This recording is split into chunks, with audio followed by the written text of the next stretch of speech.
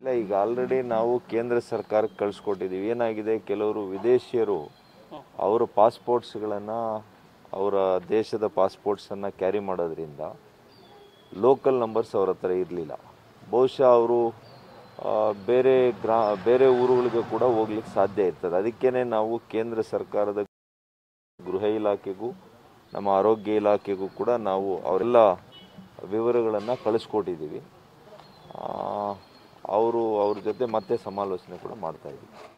ಇಲ್ಲ ಈಗ ಆಲ್ರೆಡಿ ನಾವು ಕೇಂದ್ರ ಸರ್ಕಾರಕ್ಕೆ ಕಳಿಸ್ಕೊಟ್ಟಿದ್ದೀವಿ. ಏನಾಗಿದೆ? ಕೆಲವರು ವಿದೇಶಿಯರು ಅವರ ಪಾಸ್ಪೋರ್ಟ್ಸ್ಗಳನ್ನು ಅವರ ದೇಶದ ಪಾಸ್ಪೋರ್ಟ್ಸನ್ನು ಕ್ಯಾರಿ ಮಾಡೋದ್ರಿಂದ ಲೋಕಲ್ ನಂಬರ್ಸ್ ಅವ್ರ ಹತ್ರ ಇರಲಿಲ್ಲ.